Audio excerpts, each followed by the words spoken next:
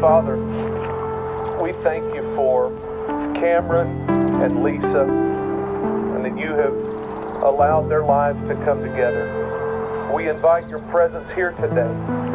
We ask you to share in our joy and celebration in the marriage of Cameron and Lisa. We ask your many blessings upon this ceremony today, upon their lives and upon their marriage and their future.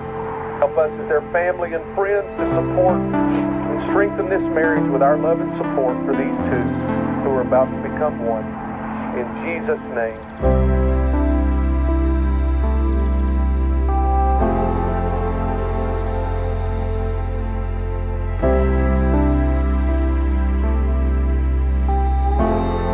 I, Lisa, take you, Cameron, take you, Cameron, to be my wedded husband, to be my husband, to have and to hold to have and to hold from this day forward, from this day forward, for better or worse. for better or better.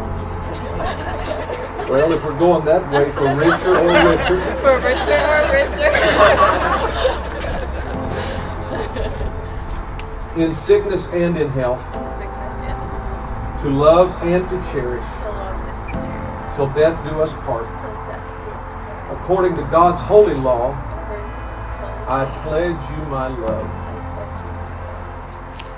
I Cameron, I, Cameron, take you, Lisa, take you, Lisa, to be my wedded wife, to be my wedded wife, to have and to hold to have and to hold. from this day forward, from this day forward, for better or worse, for better or worse, for richer or poorer, for richer or poor, in sickness and in health, in sickness and in health, to love and to cherish, to love and to cherish, till death do us part. till death do us part. I now pronounce them husband and wife, and what God hath joined together, let no man put asunder. Mr. Cameron, you may now kiss your bride.